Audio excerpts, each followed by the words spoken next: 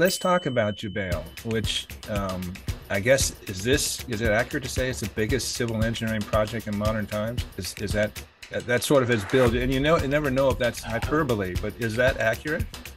Uh, it is. It, has got to be. I mean, it's always it's always difficult to to to man, you know to measure that. But I, I think we would we would consider it one of the uh, the largest civil engineering undertakings in modern times. I mean, um, it is certainly our, our longest running project. I mean, it's a it's a program that just goes on um, and on. And I guess what's what's really remarkable is it it started from nothing. It was a, a very small fishing village. Um, you know, there was a, a, a, realization in the early 1970s that there was huge value with associated gases, gas that were being flared off.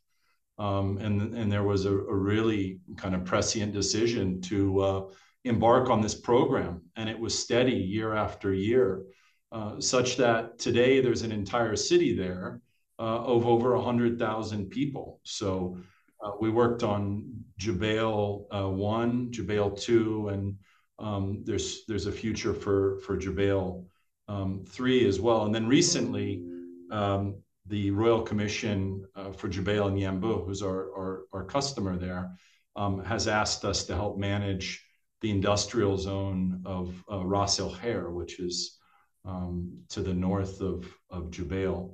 Um, but it is an awesome it is an awesome undertaking, um, and and and you have to you have to if you and Lucian ever get the chance, you have to go out and, and see it. Jubail initially is focused on petrochemicals primarily. That, that's right. I mean, I think today it's considered the largest um, industrial city, industrial complex in in the world, or certainly one of them. And uh, it's it's it's petrochemicals, uh, all the downstream industries associated with that.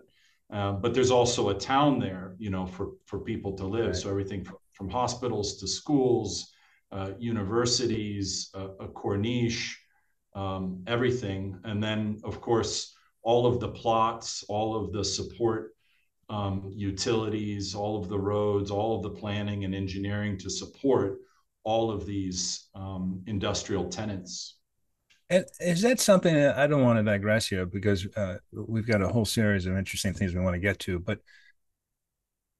it's not just construction. You're not just coming in and building these things. It's it, space like you know an investment of that scope, scope and that scale.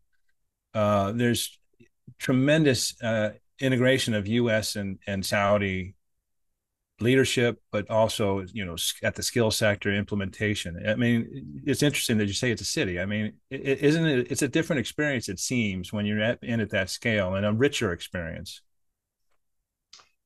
Yeah, I mean, you you just to key into one thing you said, integration. I mean, it, is different than a lot of projects that we have, certainly here in the kingdom, because we're working hand in glove with the Royal Commission. Um, we're fully integrated. So when you go into the offices, um, you know, it's not it's it's it's not you know readily it's not obvious who who works for Bechtel and who works for for the Royal Commission. Um, you know, we do things there um, like some of the city works, the municipal works, engineering, planning, um, also obviously construction, helping manage the construction packages and things like that. So it's it's the whole spectrum from front end development, um, working and interfacing um, with with industrial tenants, it's um, doing engineering packages, managing engineering packages, managing construction, working on um, turnover, um, and then long-term uh, maintenance of the facilities. So it's really managing a, a whole city together in partnership with the Royal Commission.